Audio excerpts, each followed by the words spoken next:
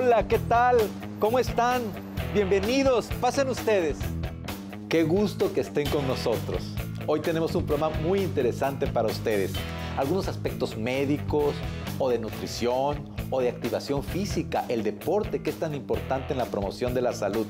Les aseguro que se la van a pasar muy bien en este programa diseñado especialmente para usted que está en casa. La salud y usted. Luces, cámara, acción, comenzamos. ¿Qué tal amigos? Muy buenas noches, muy buenas tardes para ustedes. Hoy a las 6.30 de la tarde, este sábado, tenemos un programa más de la salud y usted, pero no va a ser un programa más porque hoy tenemos una invitada de lujo y bueno, no les permito que se retiren de su aparato receptor porque hoy tendremos un momento muy especial para la salud de usted y por supuesto para nuestro público de ISN Network que estamos enlazados en ausencia, como dije al principio, nuestro compañero y amigo Gustavo Salazar, titular de ISN Network. En cámaras, Jerry González, el mejor camarógrafo de Ensenada y saludo por supuesto a todo el equipo de ISN Network, a Pablo, a Mónica, a Gustavo que ahorita está chambeando bien duro. Y bueno amigos, pues como les decía, el deporte mexicano el deporte olímpico ha tenido muchas, pero muchas eh, situaciones de éxito y de esplendor. Podemos decir que el deporte mexicano es un deporte que ha ido avanzando, pero desafortunadamente no gracias a sus directivos, sino gracias a los atletas, al talento de los atletas, a esfuerzos familiares, a veces apoyos de los institutos de los estados, que la Olimpiada Nacional sin duda alguna ha dado un gran apoyo a esto. Y bueno, todo eso se va reflejando y se va haciendo como una bolita que va creciendo. Hoy tenemos un atleta que es un orgullo, un orgullo para México, un orgullo para su tierra donde ella es oriunda, Sonora, Guaymas, Sonora. Y si viajáramos en un avión, como a mí me gusta hacerlo eh, frecuentemente, en un túnel del tiempo hacia atrás, nos encontraríamos con que la alterofilia femenil prácticamente nace en México a raíz de que se hace este deporte olímpico para las mujeres y en el año 2000 un gran triunfo de Soraya Jiménez Mendíbil que se convirtió en la primera mujer mexicana en lograr conquistar una medalla de oro para nuestro país en Juegos Olímpicos, pues vino el boom de este deporte y vinieron muchas jóvenes, muchas niñas, muchas jovencitas con un gran deseo de trascender, de ser las mejores pues primero como es el deporte de su ciudad, luego de su estado, de su región, de su país, y bueno, comenzar a soñar con un mundial, con unos Juegos Olímpicos, con trascender. Así Damaris Aguirre es quien toma la estafeta de Soraya Jiménez en Atenas 2004, logra cumplir su sueño que repite en Beijing, donde ahí en estos Juegos la acompaña también una joven, solamente dos boletos para México para la competencia olímpica de alterofilia femenil y nuestra invitada de hoy demostró su calidad que ella tenía, lo que ella venía trabajando por años, los sacrificios, pasar dolores, pasar lesiones, pasar a veces falta de apoyo, para cumplir un sueño, el sueño de llegar a unos Juegos Olímpicos, de poner su nombre en el muro sagrado del Comité Olímpico Mexicano, donde están los nombres de todos los que asisten a Juegos Olímpicos. Y bueno, Luz Mercedes Acosta Valdés, muy buenas noches para ISN Network y para la salud de usted. Es un verdadero honor recibirla desde Arizona, desde Phoenix, Arizona, a una gran campeona, medalla de bronce olímpica Londres 2012, alterofilia, menos de 63 kilogramos. Muy buenas noches, Luz. Un honor tenerte con nosotros esta noche. Hola, ¿qué tal, doctor? Hola, ¿qué tal a los radioescuchas, a todas las personas que están al pendiente, tanto de tanto de ISN Network como de la salud de usted. Buenas noches, muy buenas tardes. Espero que les agrade esta entrevista y que sea de, de interés para ustedes. ¿Cómo no va a ser interés si tu vida misma podría ser parte de una película por, con un final feliz? Qué bueno que con un final feliz porque muchas películas en México, sobre todo el deporte, no terminan con un happy end, pero esta sí lo terminaría. Luz, el, todo tiene un principio en esta vida. ¿Cómo se cruza el levantamiento de pesas en la vida de Luz Mercedes? Eh, bueno, Seferino, eh, yo inicié en gimnasia. El entrenador que nos inició en gimnasia eh, siempre me estuvo empujando a pesas, que porque yo tenía más cuerpo de pesista que para levantar pesas, cosa que daba mucho coraje en aquel tiempo y que después dices, es verdad, tengo más cuerpo de, para levantar pesos que para gimnasia.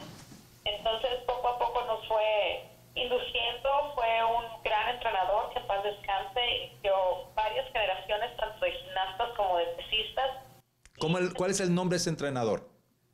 Juan Manuel Hernández, el que nos inició. El que nos Juan inició. Manuel Hernández, que está descanse. ¿Cómo se te dio a ti hasta llegar, ahora sí, a ser la mejor de Sonora, a ser la mejor de México y a ser una de las mejores del mundo, donde estabas ya cerca de unos Juegos Olímpicos que me imagino eh, ya cerca de Beijing del 2008? En el 97 inicié mi primera Olimpiada Juvenil, eh, mi primer viaje a Puerto Rico, eh, mi primer Mundial a Grecia, donde quedé en último lugar Ajá. cuando me di cuenta que necesitaba entrenar, porque en un principio pues típico que te bajan de las peñas y te piden ir a entrenar y vas uno o dos meses y lo dices, ya fui a entrenar en la semana, sí, pero todos los días comes, todos los días tienes que entrenar, ¿no? Claro. Entonces, eh, después de ese mundial es cuando me empecé a dar cuenta, ya pasé al alto rendimiento, estuve mucho tiempo en alto rendimiento, pero pasa algo curioso porque eh, una de las cosas que a los que aspiran los atletas de alto rendimiento es entrar al programa CIMA, o en ese tiempo era entrar al programa CIMA. Sí, compromiso integral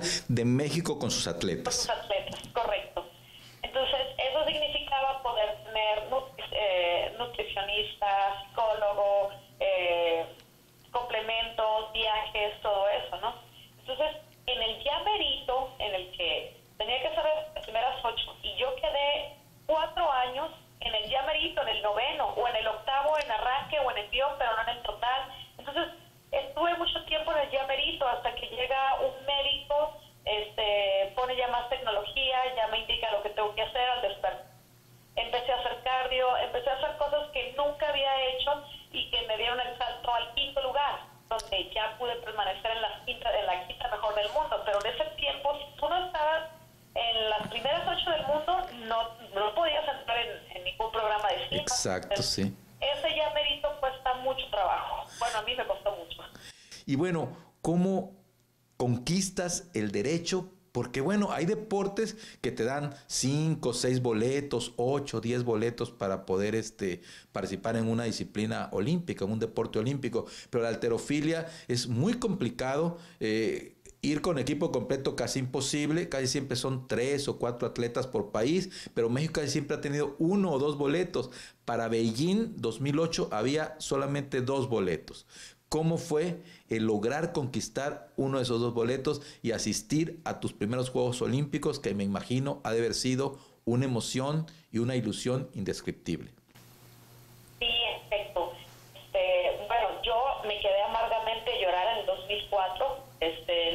Esos Juegos Olímpicos, solo Dios sabe por qué pasan las cosas y ahorita lo agradezco inmensamente. Pero en su momento realmente quería retirarme, ya no quería saber nada. Eh, el proceso selectivo como se dio, yo gané Juegos Centroamericanos, gané Juegos Panamericanos, fui la mejor del preolímpico y a la hora de que hacen, eh, decide la federación hacer un chequeo, eh, eh, a esa hora y en ese momento me va mal y me quedé amargamente a llorar. Entonces, para el 2008 se hizo, ya se hicieron tres selectivos, iban a tomar en cuenta eh, la mejor marca de los tres y quien quedara mejor ubicada por Sinclair. Sinclair Ajá. es una, es una fórmula que se hace en levantamiento de pesas que te ubica en cierta posición del mundo. Entonces, eh, muchas veces se, se hace por ranking, otras veces se hace por Sinclair. Entonces, estaban tratando de hacer un binomio con esas dos eh, fórmulas para ver quién, quién quedaba mejor ubicada. Y este, los primeros dos chequeos no me había ido bien. Eh, realmente estaba muy nerviosa y en el último chequeo este, di una muy buena marca, eh, pude hacer una mejor estrategia y fue lo que me dio el pase a mis primeros Juegos Olímpicos en el 2008, que, que realmente, o sea, fue algo maravilloso, muy, muy, Me, imagino, Luz, que hacer los Juegos Olímpicos en China, en Beijing, con una cultura milenaria, también con una gran cultura deportiva, entre otras cosas que tienen los chinos, y vivir esa experiencia debe haber sido para ti como estar flotando en un sueño, ¿no? Ya voy a estar, ya me va a tocar competir. ¿Qué sentías? ¿Cómo cómo te sentías de motivada para esa primera competencia olímpica para ti? Eh, mm, bueno, el, el sueño de cualquier atleta olímpico, de cualquier atleta, primero es unos Juegos Olímpicos. Casi, casi besas el suelo en el que estás. Claro. Tomas foto a todo, eh, hasta el camión, a esto, a lo otro. Y este, son muchas emociones encontradas porque después de tantos años poder portar un, un uniforme de Juegos Olímpicos eh, significa muchísimo. Y también cuando, cuando ves que alguien te dice, ay, ¿por qué no me regalas ese pants o esa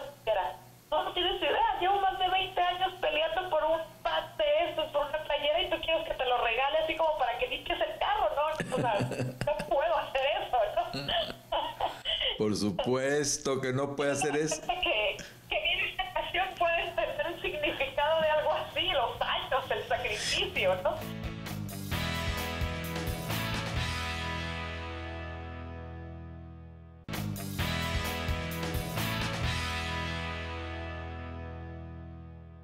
regresas de esos Juegos Olímpicos entre las mejores del mundo, calificada en un top 8, tengo entendido. Se abren las puertas cuando ya eres deportista olímpica y ya trajiste un resultado para tu estado y para tu país. Eh, se abre un poquito más la brecha. No termina de no termina de abrirse por completo, pero bueno, el ya poder haber asistido a unos Juegos Olímpicos te da un estatus plena que te da un cierto respeto y que que te da un cierto derecho a no exigir, pero sí a, a exhortar por ciertos beneficios, ¿no? Este, entonces, sí se abrió un poquito, no del todo, como te digo, pero, pero bueno, eso es un aliciente muy fuerte para decir, voy por los siguientes Juegos Olímpicos, voy por el siguiente ciclo, eh, nadie, nadie sabe qué puede pasar de aquí a cuatro años, pero el objetivo sigue siendo Juegos Olímpicos. Yo recuerdo, Luz, haber tenido el honor y, entrevistado en mayo, a tres meses de los Juegos Olímpicos, afuera del gimnasio del mantenimiento de pesas, porque fuimos a cubrir ese deporte en específico para Baja California y para todos los deportistas que estaban compitiendo. Y recuerdo que mientras ya las europeas, las asiáticas, las del norte de América, las sudamericanas, que también hay mucho nivel por ahí por Colombia y Venezuela, eh, ya estaban afinando los últimos detalles y a ti todavía te traían y a la otra chica que estaba en ahora sí que peleando por ese lugar, pero que tú lo habías ganado en el selectivo continental porque había sido tu, tu mejor actuación, lo habías tenido ahí.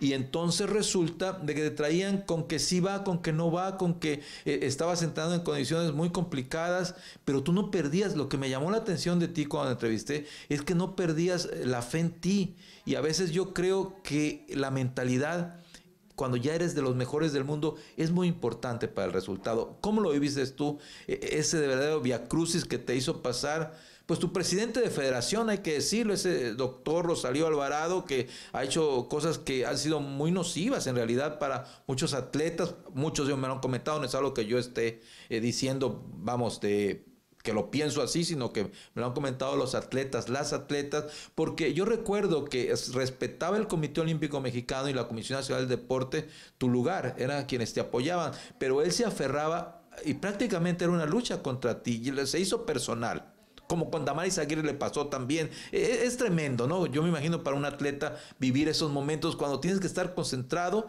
y ya preparado para ir a dar lo mejor en dos o tres meses a unos Juegos Olímpicos. No es cualquier cosa, no es fácil.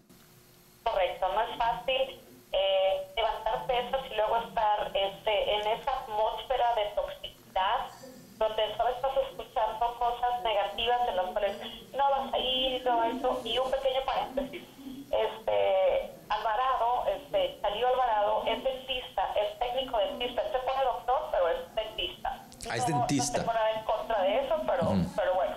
Este, este, este personaje este, sí estuvo haciendo la vida imposible porque pues en, varias eh, publicaciones de, de, periódico y todo eso estuvo mencionando pues de que yo ya estaba muy vieja, que necesitaba bastón, que iba a dar positivo, entonces eh, quieras o no, dices tú, bueno, las palabras se toman de quien tienen, pero sí afecta, ¿no? Tu estatus, tu, tu reputación, afectan muchas cosas. Dices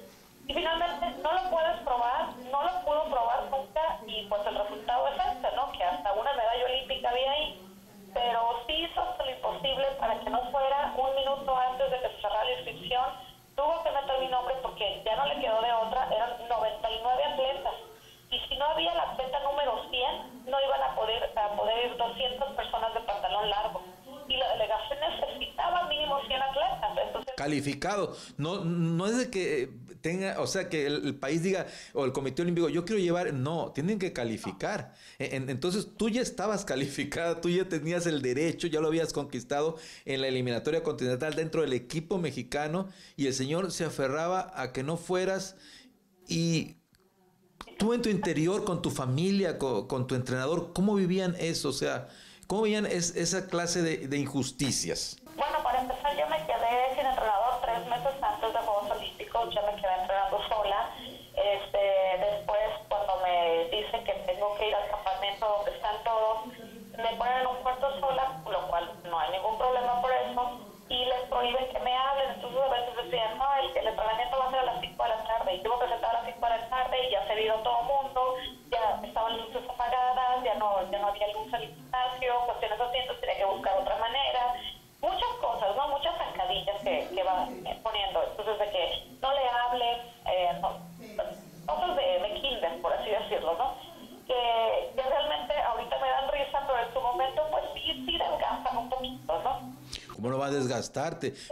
Miran tu, confianza en ti misma incluso porque eh, tienes que saltar no solamente a superar a tus rivales eh, en la competencia, tienes que superar a, los enemigos que tienes internamente y que es gente nociva.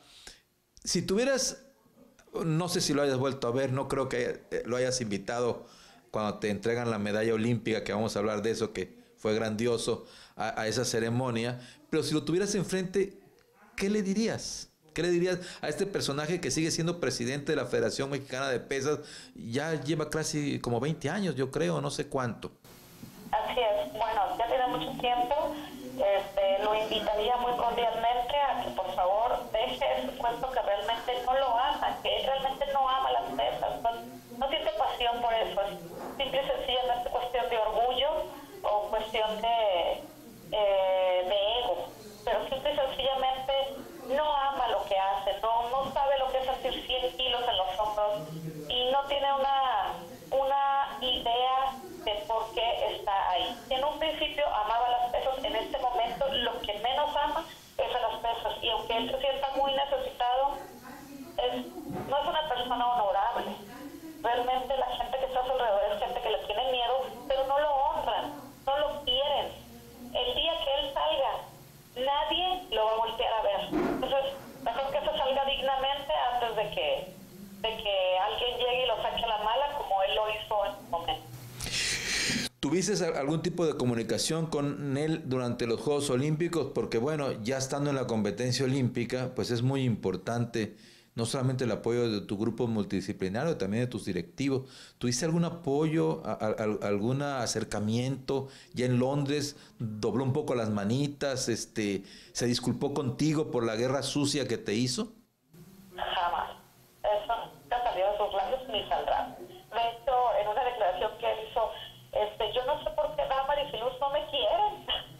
Ah, sí, sí, sí, oí esto. Sí, sí, dijo, sí, sí, sí, sí le, leí esas declaraciones, ¿no? Yo las apoyé en su momento, ¿verdad? Pero no me reconocen y, y, no me quieren, no sé por qué, si yo estoy dispuesto a hacer las paces. No, ya con la medalla olímpica, pues ahora sí que le dieron, o sea, una cachetada con guante blanco, ¿no? No, no, no hay otra manera de, de, no hay otra manera de decirlo, ¿no?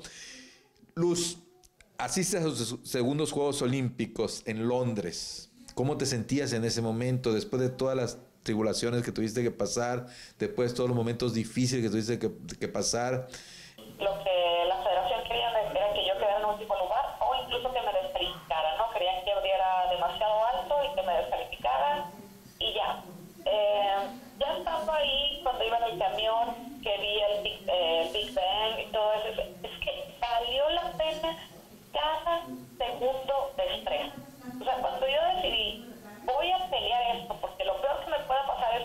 En Londres, valió la pena. Todo el argüente, ¿no? Con dimes y diretes, gritos y sombrerazos, aquí estoy y nadie me lo quita.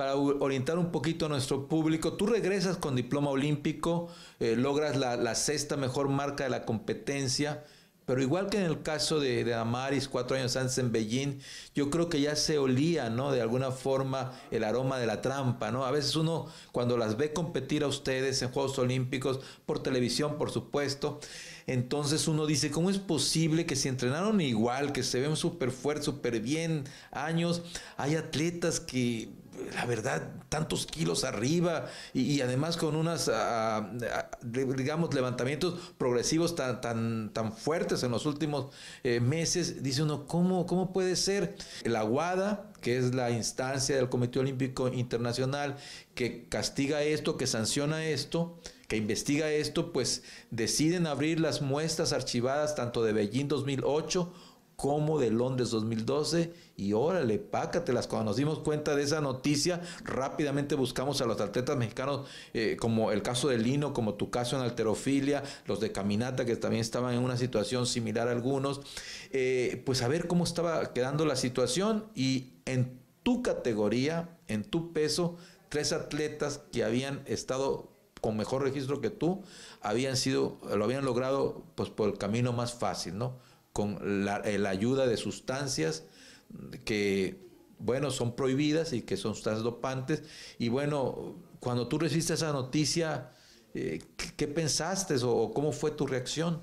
Cuando recién me mandan un mensaje por Facebook de que tú, estás dentro, tú estarías dentro del, del medallero olímpico de 2012 y estas tres atletas, como lo dice, como dice la Federación Internacional, dieron positivo. Y yo así de, lo único que yo puse, hoy en día todo puede pasar. Y subí la foto de la Federación Internacional, nada más fue lo único que puse, ¿no? A los días, a las semanas, empieza toda la, toda la maquinaria de prensa. Oye, ¿ya viste? Sí, o sea, yo ya lo subí hace, hace una semana o dos semanas, pero todavía no, yo no tengo nada, o sea, nada confirmado. Hasta ahorita son rumores, ¿no? Y para eso pasaron casi dos años de esos rumores. Entonces ya todo el mundo se olvidó, primero fue un boom, y luego ya se, se volvió a olvidar. Y de repente el año pasado, este, como en octubre, me habla eh, este, el presidente, el, presidente del Comité Olímpico Mexicano, eh, Carlos Padilla, el licenciado Carlos Padilla, y me dice, Luz, ya tenemos noticias de tu medalla, este, ¿dónde, ¿dónde la vas a recibir? Eh, puede ser, sería tres instancias, ¿no? Puede ser un, un, evento del internacional, puede ser el Museo de Suiza. Lausanne, ¿no? En Suiza, el, el, el museo que hay, ¿no?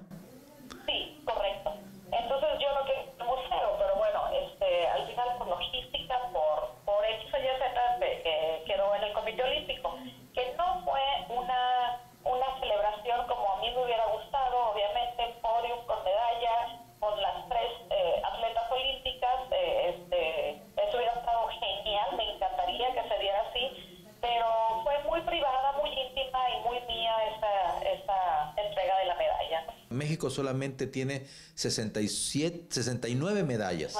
69 medallas en toda la historia olímpica. Entonces, una de esas medallas la conquistó Luz Mercedes Acosta Valdés para su estado, para Sonora, que sé que ella lo ama mucho porque ella es de Guaymas y es una sonorense ahora sí que de cepa, y por supuesto para su país, para México. Así es. Me imagino cuando dijeron, ya aquí está tu medalla y, te la dieron, debe haber dicho, lo logré, ¿no? Ha de haber sido como un momento o un día maravilloso para ti. Fue un día inolvidable, este, uno de los mejores días de mi vida. Eh, porque trae muchos sentimientos encontrados, desde cuando empezaste, desde cómo empezaste jugando, eh, cuando ya te conviertes en casi casi ligas mayores, cuando ya entras a grandes ligas, cuando ya estás con todo y cuando ya, ya quieres este, cerrar o continuar eh, en grandes ligas.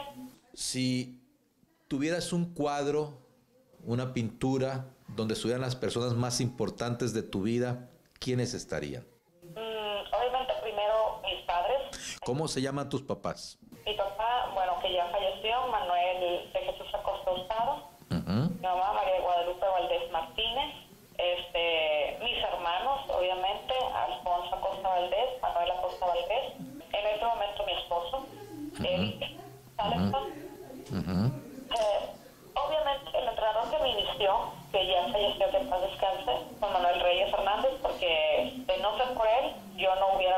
absolutamente nada. Realmente yo le saqué todas las ganas que él tuvo, me pertenecen. Dime, ¿cómo cambia la vida antes y después de la medalla? Antes que comencemos con estas preguntas rápidas.